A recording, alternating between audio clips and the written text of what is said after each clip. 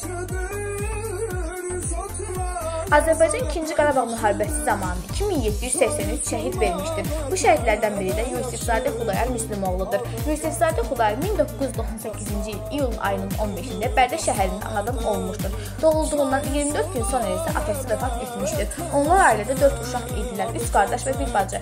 Yusifzadə Xudayar ailənin e, son beşiyi idi. O, e, Bərdə şəhərində Bülbül adına bir nömrəli uşaq incəsənət məktəbini oxuyub qurtarmışdı. Döyüşlərdən 2 gün əvvəl isə Əliağa Vahidin sözlərinə yazıldığı e, Vətən yaxşıdır mahnısını oxuyarkən özünü və döyüş yoldaşlarını videoya çəkmişdir. 2020-ci il oktyabrın 22-sində e, şəhidlik zirvəsinə ucaldılıb. 15 dekabr 2020-ci ildə Azərbaycan prezidentinin sərəncamı ilə Azərbaycan bayrağı ordeni və e, Vətən uğrunda medal ilə təltif edilmişdir.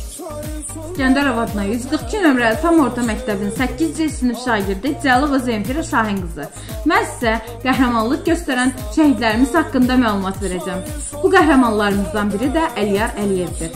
27 sentyabr 2020-ci il tarixində ordumuzun əkiz hücumları nəticəsində doğma torpaq, vətən uğrunda canından keçmiş igidlərimiz və şəhidlərimizin ruhu qarşısında baş əyir və ehtiramla anırıq. Bunlardan biri də Əliyar Əliyevdir. Əliyar Əliyev 1957-ci il dekabrın 14-də Qubaldı rayonunun Qazyan kəndində anadan olub.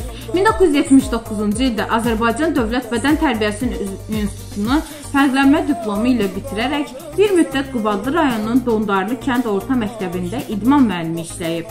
Hərbi xidməti başa vurduqdan sonra Saransk Dövlət Universiteti onu idman üzrə tanınmış mütəxəssis kimi müəllim işləməyə dəvət edir və Əliyar Əliyev həmin universitetdə 2 il müəllim işləyir. Atasının ölümü ilə əlaqədar o Qazyana qayıdır. Qəsəbə Orta Məktəbində müəllim, məsul kənd könüllü bədən tərbiyəsi və idman cəmiyyəti rayon şurasının sədri seçilir. Qarabağ müharibəsi başlayanda Əliyar Əliyev könüllü olaraq Azərbaycan Silahlı Qüvvələrinin sırasına qoşulur. Müharibədə özünü təkcə döyüşçü kimi yox, həm də hərbi işin təşkilatçısı kimi göstərməyə başlayır. Əvvəlcə taborun kəşfiyyat bölməsinin komandiri, sonra isə tabor komandasının təchizatı üzrə müavini təyin edilir. Əliyar Əliyev döyüşlərdə böyük nümayiş göstərərək mayor rütbəsinə yüksəlmişdir. Qəhrəmancasına şəhid olmuşdur. Selman İskəndərov adlı 142 nömrəli tam orta məktəbin 8C sinif şagirdi Məmşizadə Nəzin Əkbər qızı Abbas bəyli Həmid Cavanşiroğlu haqqında təqdimat. Abbasbəyli Həmid Cavanşiroğlu 17 noyabr 1991-ci ildə Bakı şəhərində ziyalı ailəsində anadan olmuşdur. İlk təhsilini Binəqədi rayonu Pamir İskəndərov adına 157 nömrəli tam orta məktəbdə almış, müəllimlərinin sevimli və çalışqan şagirdi olmuşdur. Orta təhsilini uğurla bitirən Həmid təhsilini Cəmşid Naxçıvanski adına hərbi liseydə davam etdirmişdir. Liseyi müvəffəqiyyətlə bitirən Həmid Abbasbəyli təhsilini Heydər Əliyev adına Azərbaycan Ali Məktəbində davam etmişdir. 4 xarici dil biliyinə malik idi.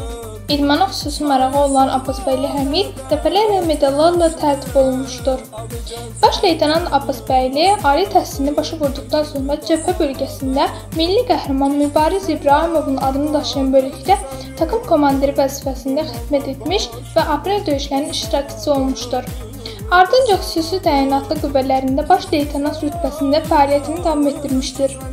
Bu dövrdə Türkiyə və Çində xüsusi təlimlərdə iştirak etmiş və həmin təlimləri birinciliklə başa vurmuşdur. Azərbaycan Respublikasının silahlı qüvvələrinin yaradılmasının 100 illik yubileyi münasibətilə iyunun 26-sında Bakının Azadlıq meydanında təntənəli hərbi paradda xüsusi təyinatlı qüvvələrin tərkibində çıxış etmişdir. 2020-ci ilin iyun ayının 24-də Moskva şəhərində Qırmızı meydanda keçirilən Böyük Vətən müharibəsində Qələbənin 75-ci illiyinə həsr edilmiş iri miqyaslı paradda 75 hərbçi ilə Azərbaycan ordusunu təmsil etmiş və Böyük Vətən müharibəsində qələbənin 75 illik medalı ilə tərtib edilmişdir. 2-ci Qarabağ müharibəsində iştirak. Həmid Abbasbəyli 27 sentyabr 2020-ci ildən etibarən 2-ci Qarabağ müharibəsində iştirak etmişdir. Döyüşlər zamanı minaya düşərək ayağından yaralanmış, lakin ilkin tibbi yardımdan sonra döyüşə davam etmişdir. Füzuli, Cəbrayıl, Zəngilan şəhərlərinin, Hadrut qəsəbəsinin, Ərgünəş və Laçın dəhlizinin nəzarət edilən yüksəkliklərin işğaldan azad olunmasında iştirak etmişdir.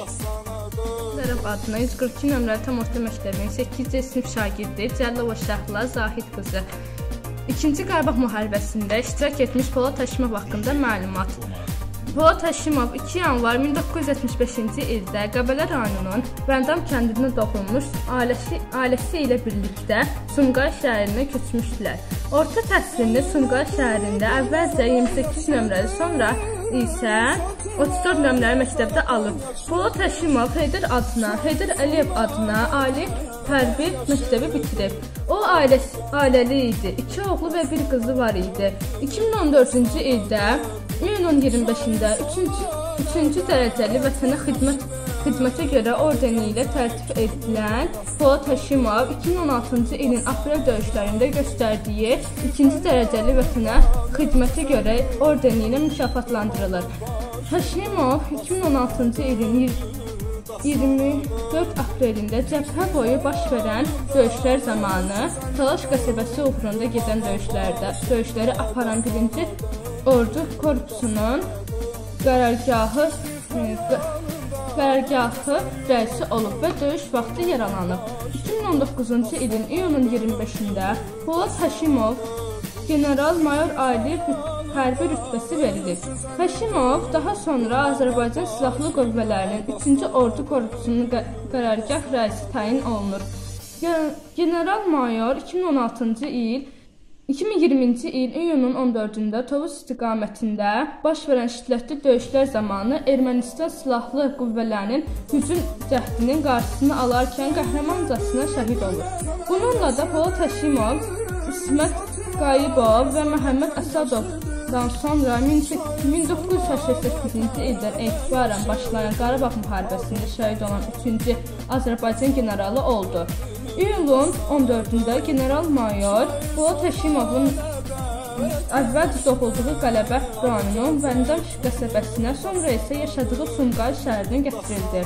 General iyulun 15-də Fəxri, Fəxri xiyabanda polkovnik İlqar Mirzəyev ilə yanaşı dəfn olundu. Vida mərasimində Müdafiə naziri Zakir Həsənov Müdafiə Nazirinin müavini Yaşar Əliyev, Bakı şəhər İcra Hakimiyyətinin başçısı Eldar Əziz Əzizov iştirak edib. 9 dekabr 2020-ci il tarixində prezident İlham Əliyevin sərəncamı ilə Milli Qəhrəman adı verildi.